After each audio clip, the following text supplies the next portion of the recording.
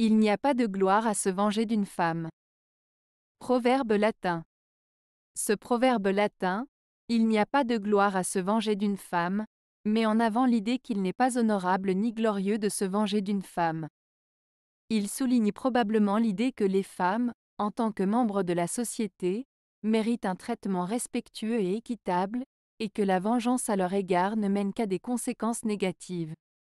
En résumé, ce proverbe met en garde contre l'idée de chercher à se venger d'une femme, soulignant que cela n'apporte ni honneur ni gloire.